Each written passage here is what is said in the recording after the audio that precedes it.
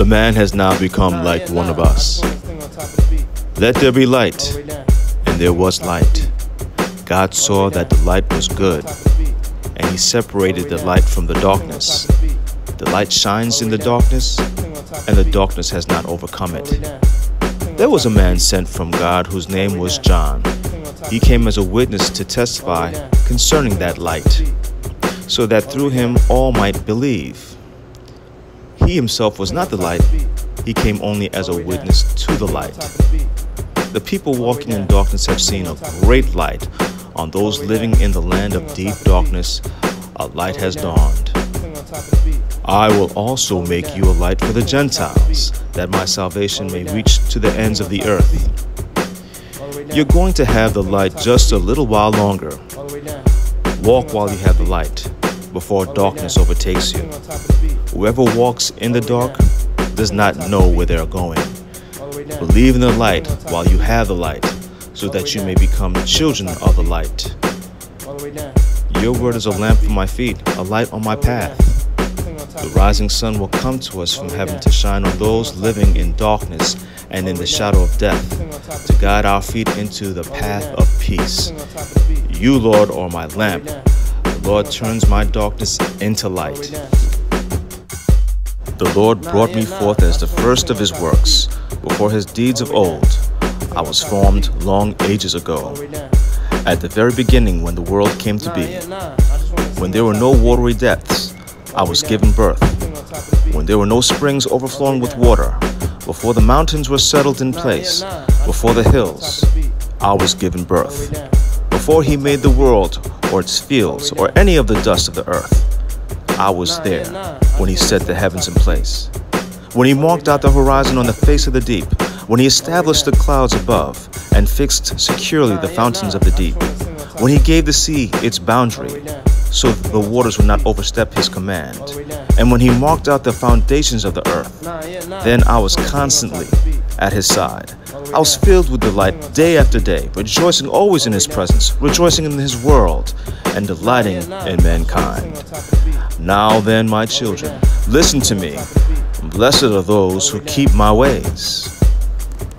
In the beginning was the Word, and the Word was with God, and the Word was God. He was with God in the beginning. Through him all things were made. Without him nothing was made that has been made.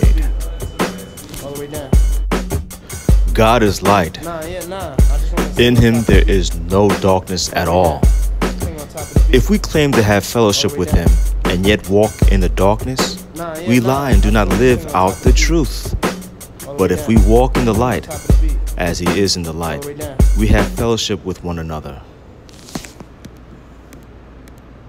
The sun will no more be your light by day, nor will the brightness of the moon shine on you. For the Lord will be your everlasting light, and your God will be your glory. Your sun will never set again, and your moon will wane no more. The Lord will be your everlasting light, and your days of sorrow will end. Look, God's dwelling place is now among the people, and he will dwell with them. They will be his people, and God Himself will be with them and be their God. He will wipe every tear from their eyes. There will be no more death, or mourning, or crying, or pain, for the old order of things has passed away. The city does not need the sun or the moon to shine on it, for the glory of God gives it light, and the Lamb is its lamp. The Lord brought me forth as the first of his works before his deeds of old. I was formed long ages ago, at the very beginning when the world came to be. When there were no watery depths, I was given birth. When there were no springs overflowing with water, before the mountains were settled in place, before the hills, I was given birth. Before he made the world, or its fields, or any of the dust of the earth, I was there when he set the heavens in place when he marked out the horizon on the face of the deep, when he established the clouds above and fixed securely the fountains of the deep, when he gave the sea its boundary, so the waters would not overstep his command, and when he marked out the foundations of the earth, then I was constantly at his side. I was filled with delight day after day, rejoicing always in His presence, rejoicing in His world, and delighting in mankind. Now then, my children, listen to me. Blessed are those who keep my ways. The man has now become like one of us. Let there be light, and there was light. God saw that the light was good, and he separated the light from the darkness. The light shines in the darkness, and the darkness has not overcome it. There was a man sent from God whose name was John. He came as a witness to testify concerning that light, so that through him all might believe. He himself was not the light, he came only as a witness to the light. The people walking in darkness have seen a great light. On those living in the land of deep darkness, a light has dawned. I will also make you a light for the Gentiles, that my salvation may reach to the ends of the earth.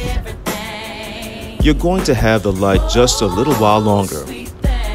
Walk while you have the light, before darkness overtakes you. Whoever walks in the dark does not know where they're going. Believe in the light while you have the light, so that you may become children of the light. Your word is a lamp for my feet, a light on my path. The rising sun will come to us from heaven to shine on those living in darkness and in the shadow of death, to guide our feet into the path of peace. You, Lord, are my lamp. Lord turns my darkness into light.